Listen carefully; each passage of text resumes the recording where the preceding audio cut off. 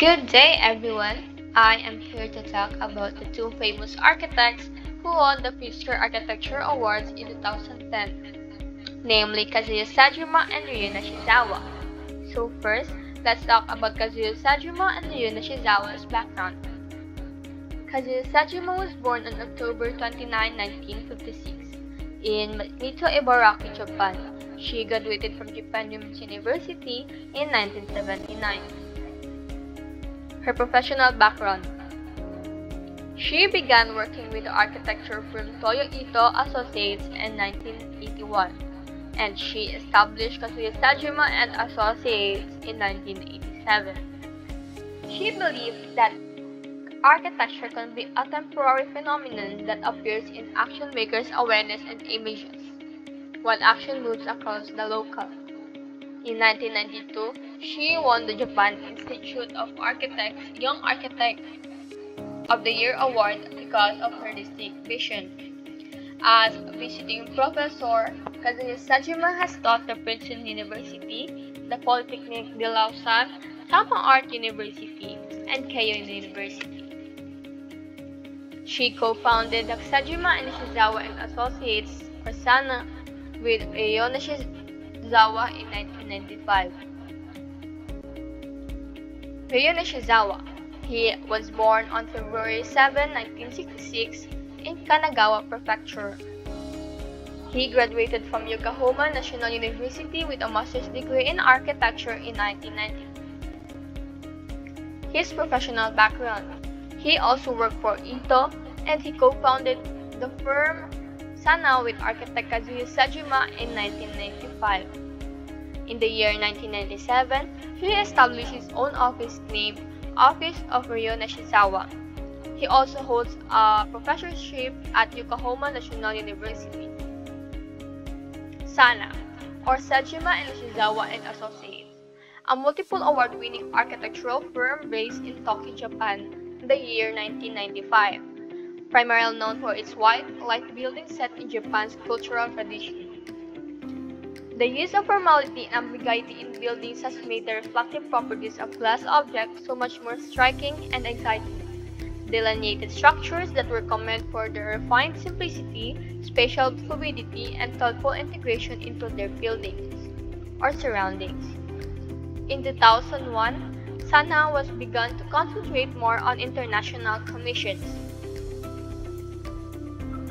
Even in their earliest project in Japan, their distinctive manifested itself with a clarity that is so easily defined and misinterpreted. Thus, their iconic understand with spaces are stripped of any elaborations that may distract the user from the goal, which is to activate and inspire them to engage with their surroundings.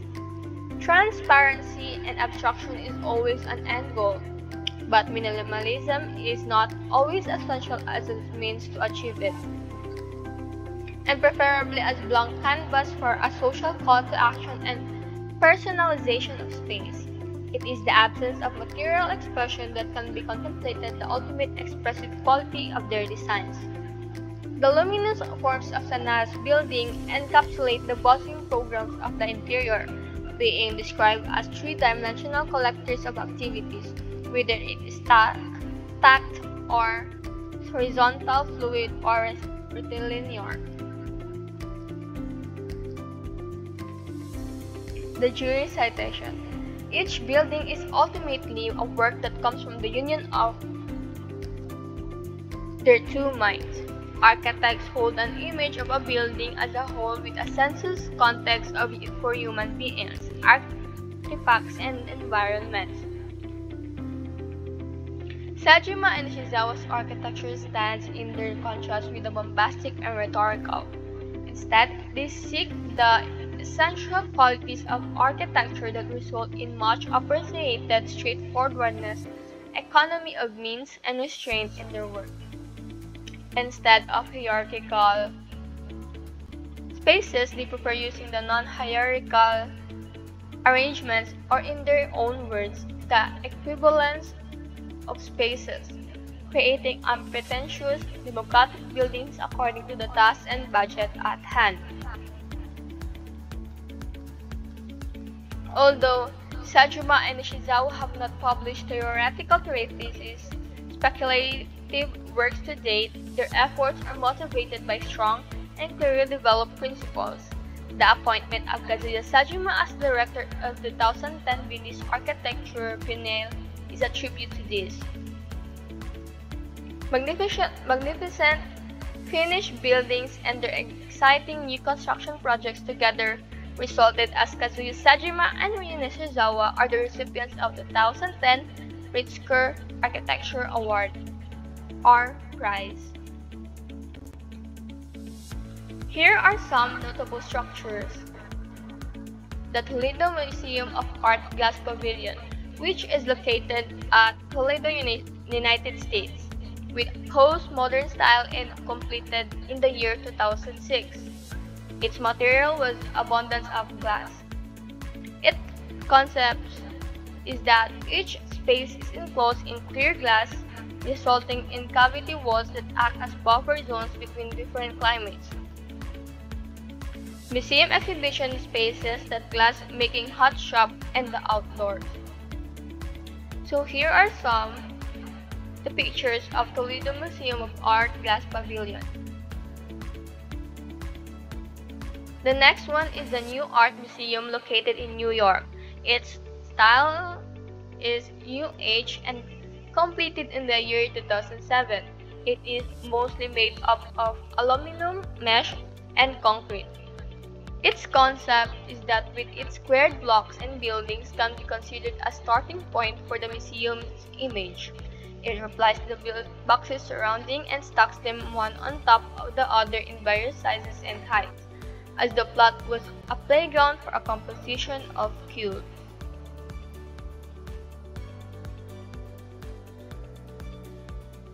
The next one is the Dior Omotesando, which is located in Tokyo, Japan with modern style and completed in the year 2003. It is most made up of glass. Its concept was the building is a pristine white box with sharp edges and occupies the entire trapezoidal site.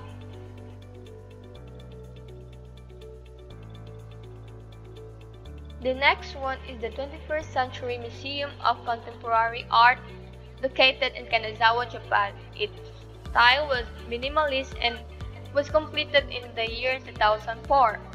It mostly made up of steel, concrete, and glass. Its concept is that the museum is designed as a park where people can meet at any time and museum's aim is enjoyment and accessibility is to the general public. The openness of the building promotes the perception that the museum does not want to be as an obscure.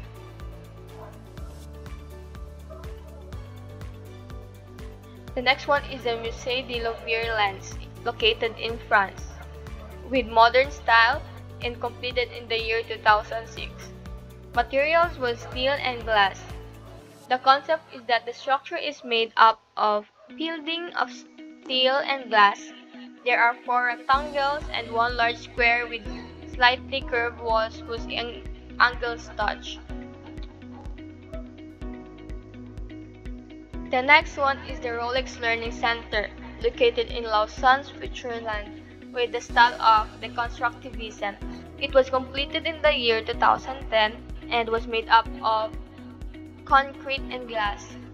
It is a highly innovative building with gentle slopes and terrace undulating around a series of internal patios with almost invisible supports for its complex curving roof which required completely new methods of construction.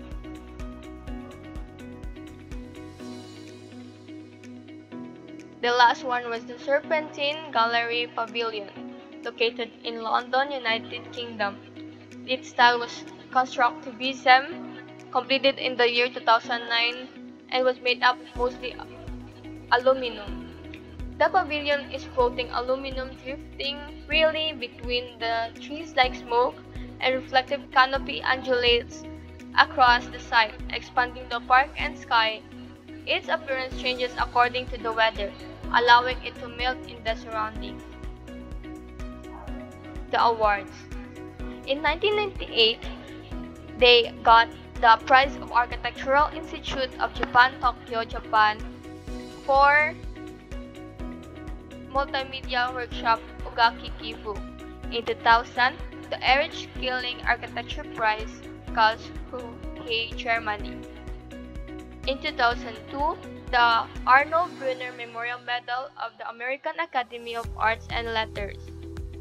In the year 2002, Architecture Award of Salzburg, Vincenzo Scamozzi, Salzburg, Austria.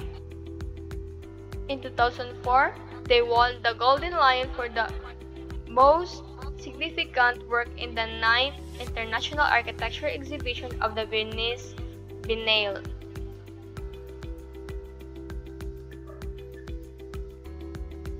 In the year 2005, they got the 46th Mainichi Newspaper Arts Award Architecture category for the 21st Museum of Contemporary Art Kanazawa.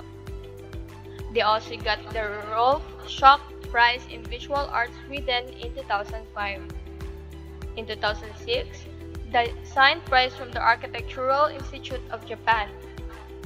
In 2007, they got the Premio Mario Pani 2007 Mario Pani Award, Mexico Me City, Mexico.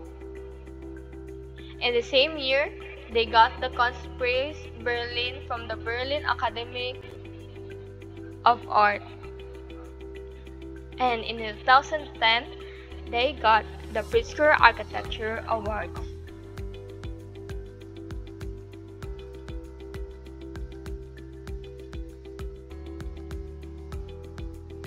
Next is the references. So here are some references.